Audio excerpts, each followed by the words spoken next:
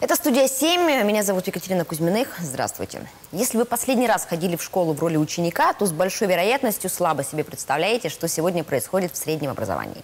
Какие тенденции, какие модели школ существуют и какую выбрать стратегию подготовки к вузу. Мы воспользовались тем, что замдиректора по развитию лицея Высшей школы экономики Рустам Байбурин оказался в Красноярске и пригласили его в гости. Рустам, привет. Добрый день. Ну, мы с тобой знакомы давно, поэтому нет смысла выкать. А, будем честно общаться на «ты». А, приехал э, в Красноярск ты не просто в гости на свою историческую родину, но, я так понимаю, еще и в Красноярскую летнюю школу. Красноярская летняя школа, ее, наверное, не нужно представлять тем, кто живет в Красноярском крае. Очень известная, очень старая а, организация дополнительного образования. Вот и когда-то я там был школьником, потом лектором, потом работал руководителем этой школы. И последние 10 лет просто с удовольствием наблюдаю за тем, что она продолжает жить и успешно. Вот в этом году, к счастью, успел пару дней захватить. Ну и кроме того, в Красноярске, когда ты работал в системе образования, а, ты был директором высшей, старшей, старшей, старшей ступени гимназии и универс. Да. А, про модели э, школ. У меня, правда, есть ощущение, что если вот я к школе имела отношение только в роли ученика, и когда сейчас у меня ребенок пойдет в первый класс, я приду в совершенно другую школу, совершенно другие, другое представление о том, как должно быть это организовано. Какие есть модели сейчас а, средних школ, какие есть варианты? Ты знаешь, Катя, я бы, наверное, сказал сначала про область своей компетенции. Дело в том, что я про начальную школу не очень хорошо знаю, и ну, всю свою жизнь в основном работаю со старшеклассниками и с подростками, поэтому я, наверное, мог бы рассказать про то, какие есть трудности, какие есть э, разные варианты как раз вот этой второй половины школьного обучения. И э, прежде чем говорить про модели разные, да, я бы, наверное, сказал про то, какая сейчас вообще ситуация со школьным образованием э, складывается, и оттуда будет понятно, собственно, почему какие-то новые модели должны появляться. Имеешь, имеешь в виду некие тенденции, которые да, есть? Да. Э, э, я бы даже сказал, что у старшей школы сейчас появляются, ну, прям такие э, вызовы, о которых мы сильно не задумываемся. Значит, я бы, наверное, выделил две, две или три проблемы. А одна из них просто говорит о том, что количество детей, которые продолжают, хотят продолжать обучение в ВУЗе, сейчас снизилась за последние, наверное, 10 лет э, э, в два раза практически. Но ведь это же государственная политика. Нам активно рассказывают о том, что высшее образование нужно не всем. Оно стало дороже, количество бюджетных мест, я предполагаю, сильно сократилось. И все говорят о том, что нам не хватает рабочих специальностей, поэтому после девятого класса люди уходят э, из школы. Эм, С этим связано? Я не думаю, что это такое сильное влияние, влияние имеет инструменты госполитики. Мне кажется, что ситуация связана с тем разнообразием, которое сейчас появляется э, в области услуг, которые предоставляются на образовательном рынке. И в тот момент, когда старшеклассники, э, которые, в принципе, уже начинают обладать собственным сознанием по поводу своего образования, многие э, родители, когда у них появляется возможность альтернатив, они их начинают рассматривать. Вот сейчас, например, в этом или в прошлом году э, количество детей, которые идут в СПО, то есть среднее профессиональное образование, сравнялось с количеством детей, которые идут в высшее образование. И это вот один из таких... Ты связываешь это именно с э, количеством качественной альтернативы и вариантов э, в среднее профессиональное образование или с недоступностью высшей школы? Я не считаю, что это недоступность высшей школы. Я считаю, что э, это связано во многом с тем, что правила э, которая многие годы э, эксплуатировалась для так скажем, некоторого принуждения к получению высшего образования, что без диплома ты не сможешь получить высокооплачиваемую работу, сейчас э, перестало в некоторых отраслях совершенно действовать. Ну вот возьмем область IT, скажем. Да? А, сейчас не то, что нет необходимости учиться 4 года на бакалавриате, чтобы получить профессию айтишника. Да, сейчас, честно говоря, даже и колледж не обязательно успеть закончить. Есть там, годовые курсы, после которых ты можешь уже получать первую профессию в IT. Там тебя в большинстве Э, компании никто не спросит, есть ли у тебя высшее образование или какое-либо. Главное, что у тебя есть профессиональные компетенции. Их быстро смогут проверить на входе. И дальше, если у тебя все получается, ты входишь в эту среду, и при необходимости затем, если вдруг где-то когда-то, ну хорошо, ты экстерном там получишь э, корочку диплома. Но для того, чтобы стать э, высокооплачиваемым специалистом, а известно, что сейчас в IT очень перегретый рынок труда, и зарплаты астрономические, то вот нет необходимости идти в ВУЗ совершенно точно. Я слышу это как некую, ну, такую рекомендацию. Не нужно всем идти в высшую школу, здесь я с тобой абсолютно согласна. Но как такую пропаганду вот этих вот коротких курсов специализированных, вот если ты выбрал специальность IT, после девятого класса заканчиваешь колледж один год, и, грубо говоря, в 15 лет ты человек с профессией. Ну, Но я это- как же относиться к тому, что все-таки высшее образование дает некий кругозор, дает навык э, к самообразованию, а, ну и все-таки человек с университетским образованием отличается от школьника? Вот заметьте, я не пропагандирую ни то, ни другое. Мне кажется, что это разные пути. И, и просто если раньше э, фактически альтернативой СПО не было как таковым, да, для тех, кто, ну, так или иначе хотел некоторой интеллектуальной работой заниматься, то сейчас это стало именно так. Сейчас очень много э, вкладывается в развитие СПО. Действительно, ты правильно с этого зашла, что там разные профессиональные конкурсы сейчас появляются, конкурсы профмастерства, там Junior Skills и так далее.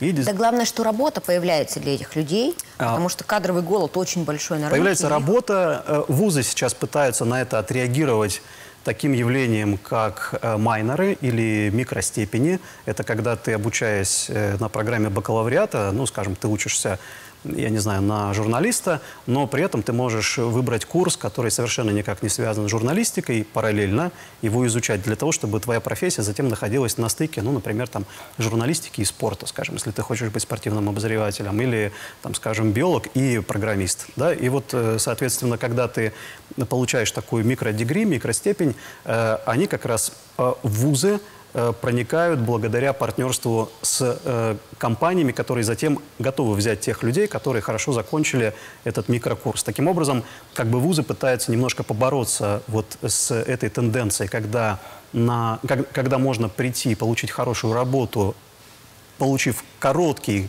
короткий образовательный опыт, и сразу встроиться в систему на, в рынка труда, да, то вот ВУЗ говорит, давайте вы не будете оставлять идею вот того, чтобы получить высокое, э, значит, широкое, глубокое образование высшее, но при этом также мы вас э, не оставим без э, опыта на выходе, да, вы не только теоретиками будете после того, как 4 года закончите бакалавриат, но и у вас будет совершенно конкретная возможность сразу стать э, высокооплачиваемым специалистом. Мы сейчас ушли э, в Да, тему да, да. вузов, Мы а ушли, я хотел сказать обещали людям про- разговаривать про школы. Да, да, мы хотели сказать про проблемы, но вот я сказал про то, что СПО сейчас достаточно э, существенной альтернативой становится старшей школе, по большому счету. Во-вторых, сейчас э, существенные изменения произошли в области анскулинга, то есть это группа э, семей, которые вообще не хотят, чтобы их дети ходили в школу. Это семейная форма э, В том, ну, в том числе и семейная форма обучения, там э, разные существуют форматы. Семейная, в первую очередь, она закреплена законом. Э,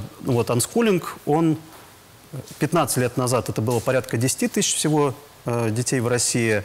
5 лет назад это было уже 100 тысяч детей в России.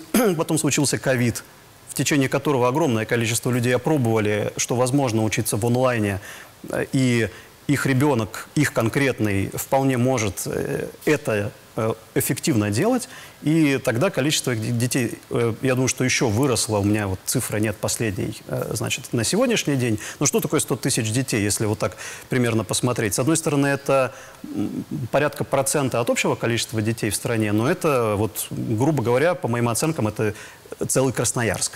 А скажи, как ты относишься к такой модели получения образования в, школе, в старшей школе?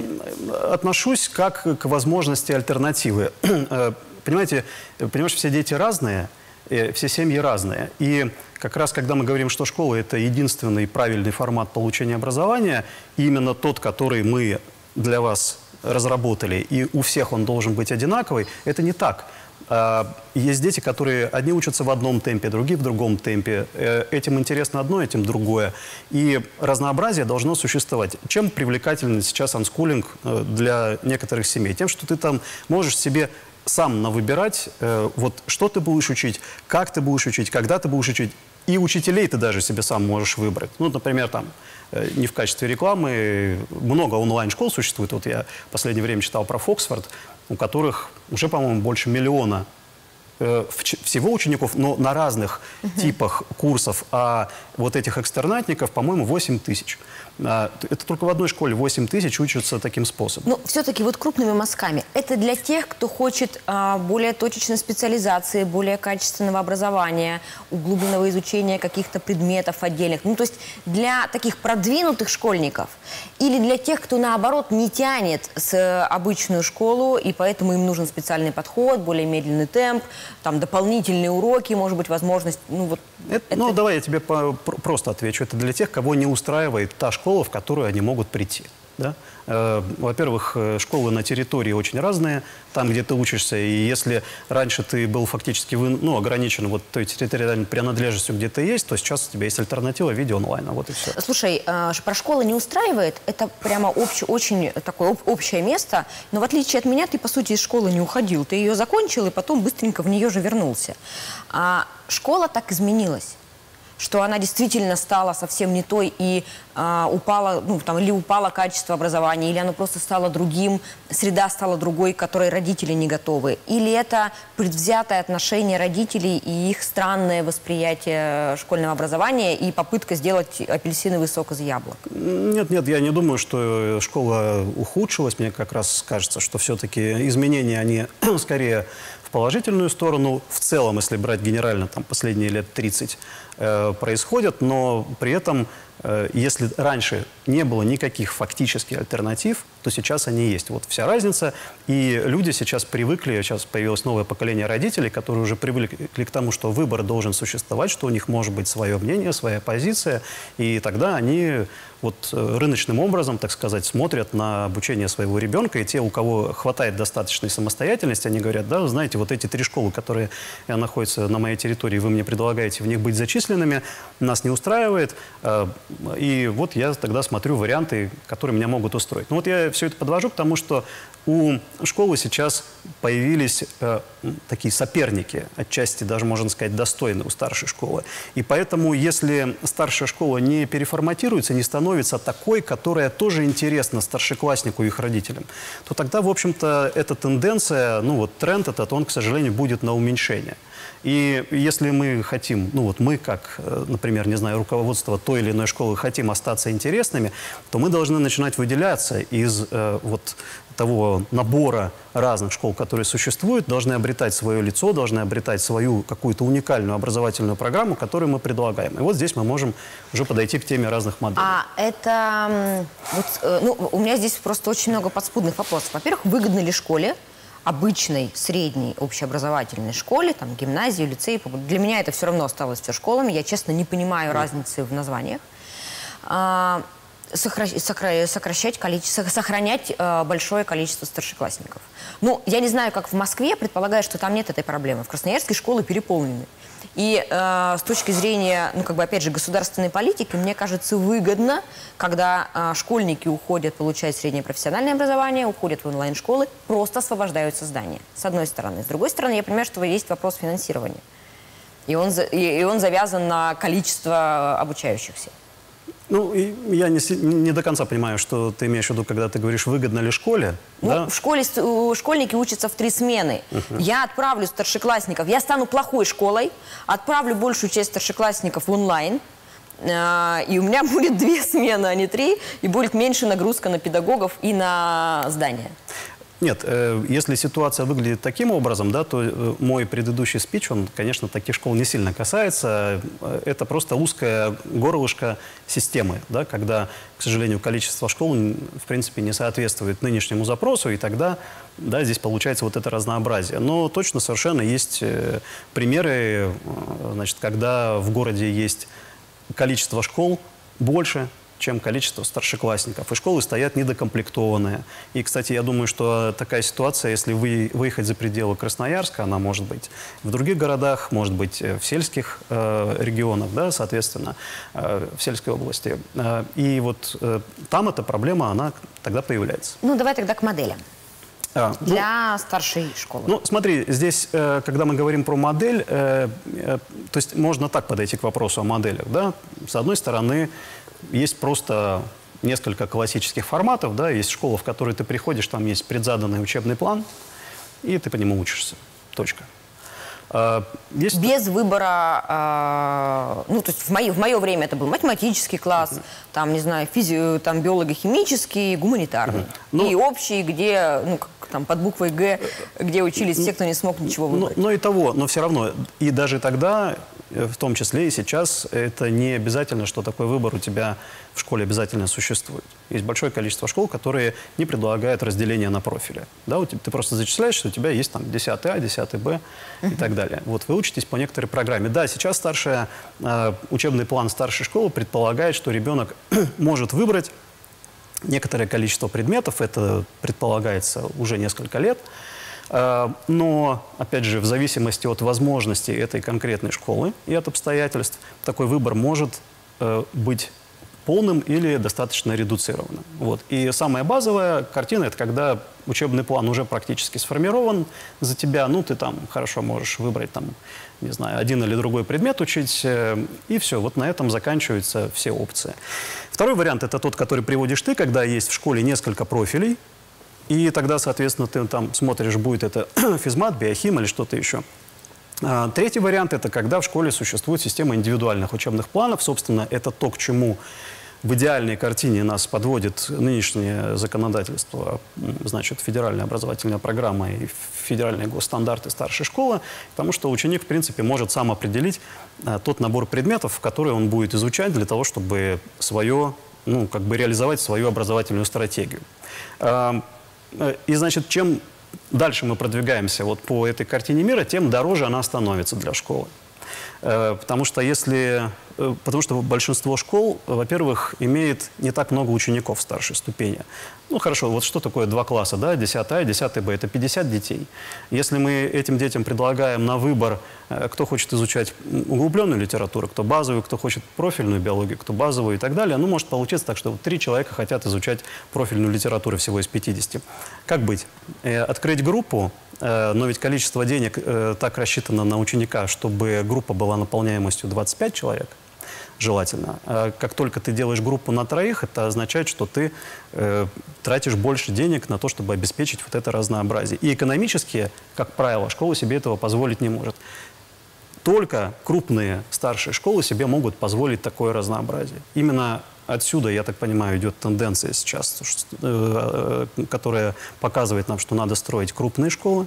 Mm-hmm. То есть это не просто про а, вместить всех желающих, а это про вариативность и в том числе качество? Ну, я бы хотел на это надеяться, mm-hmm. что это одна из причин, по которой это происходит. В Москве, э, наверняка вы знаете, что такая э, политика была фактически спущена Департаментом образования на всю Москву, и из более чем 4 тысяч школ в Москве они все укрупнились, и осталось сейчас, наверное, 600 или около того э, количества школ, то есть э, стали большие территориальные комплексы, внутри которых у тебя есть возможности самоопределения, принятия решения, э, что ты будешь изучать и так далее. То есть ход в сторону индивидуализации, то есть ход в сторону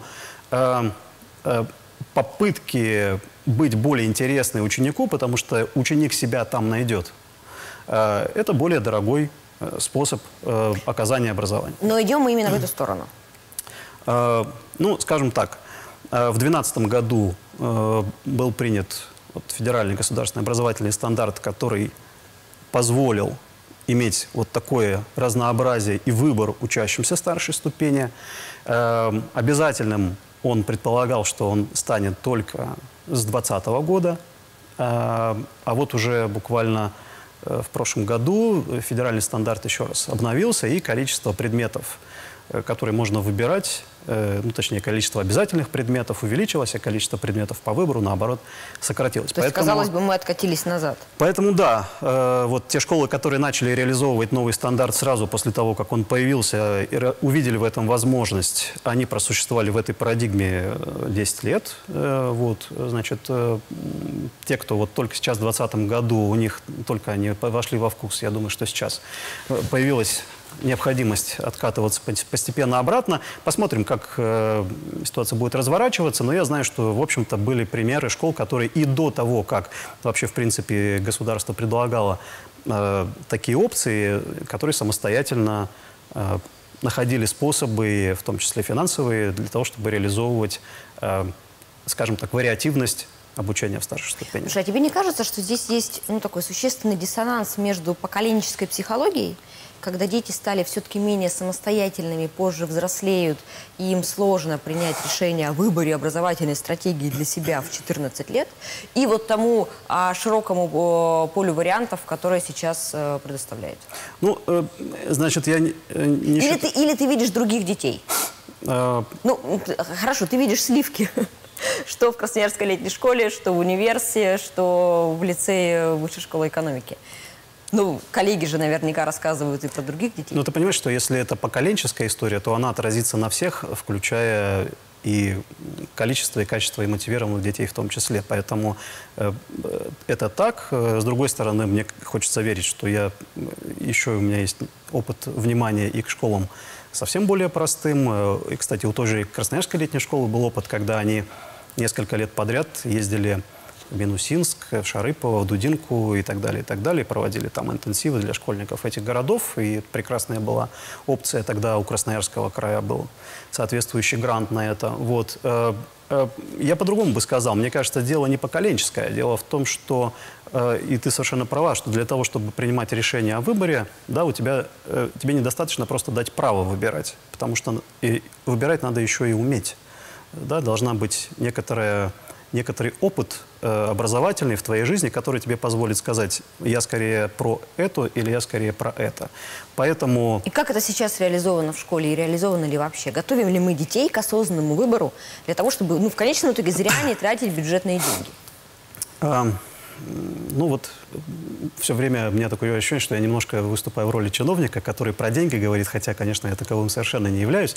Э, смотри, э, э, значит, я могу только сказать, как мне кажется, было бы правильно это. Да? Ну а, вот, а вот в каком количестве школ это так реализуется, Сложно у меня, сказать. у меня такого, такой аналитики нету. К сожалению, Эм, совершенно логично, что если... э, Ну вот раньше, да, мы предполагали, что после школы ребенок идет в ВУЗ, и там ему надо что-то выбрать. Ну вот поэтому как-то в старшей школе с ним начинали говорить про выбор того или иного. Если сейчас в старшей школе есть возможность предварительного выбора, ну что это означает? Это означает, что на предыдущей ступени должен начаться период хотя бы какого-то минимального пробования. Да? Ты, э, по большому счету, ты не сможешь сказать, э, нравится тебе больше, там, не знаю, IT или журналистика, если ты не ввяжешься и в то, и в другое э, так вот на полный штык, что называется, э, по-серьезному, э, и там, и там себя не попробуешь. Поэтому хорошая подростковая школа, ну вот особенно ее вторая половина, где-то там класса с 7 8 до 9, это та школа, которая предоставляет достаточно большой набор э, проб школьника в самом разном. И это э, очень благоприятное время, я бы так сказал, потому что, с одной стороны, у школьников э, период, когда они очень хотят самовыразиться, когда они хотят э, проявить себя, когда им хочется сделать что-то свое. И вот на этом э, хорошие школы их ловят в разной проектной деятельности, в разных вне классных форматах. Еще более э, толковые школы, они переформатируют жанр урока, когда он из вот этого трансляционного формата тоже превращается в некоторый проектный тип.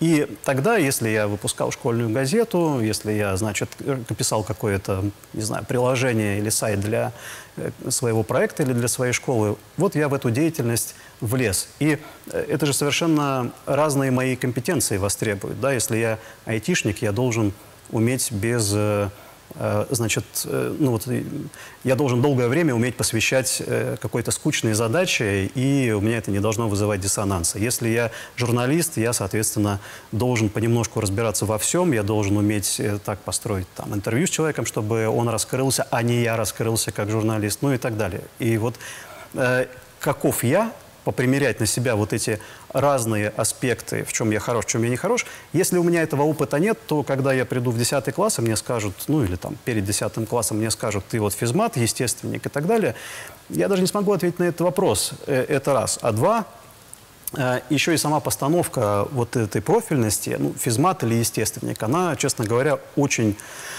э, такая искусственная, по большому счету, потому что нам это удобно. Ну, вот у нас есть некоторый привычный устоявшийся формат, там, факультеты или как-то еще, но на жизни, конечно, сейчас это всё по-другому. абсолютно перемешано. Можно очень коротко, у нас Да. буквально остается 30 секунд. А, Если толковый школьник, может ли он стать э, и получить знания в даже самой посредственной школе? Или все-таки это задача школы тащить э, даже самых бестолковых школьников? Я считаю, что задача школы заключается в том, чтобы обрести свое лицо и предложить такую образовательную программу, которую они классно будут реализовывать, и там будет интересно тем, кто эту образовательную программу хочет взять. И если такой школьник туда попадает, он должен пройти ее с большим интересом для себя, и школа должна все для этого сделать. Но если я школьник, вокруг которого такой школы нет, я должен предпринять некоторые усилия, чтобы найти себя, и, может быть, не обязательно конкретно в этих школах. Спасибо большое. Друзья, у нас в гостях был Рустам Байбурин, замдиректора по развитию лицея Высшей школы экономики. Меня зовут Екатерина Кузьминых. Всем удачи.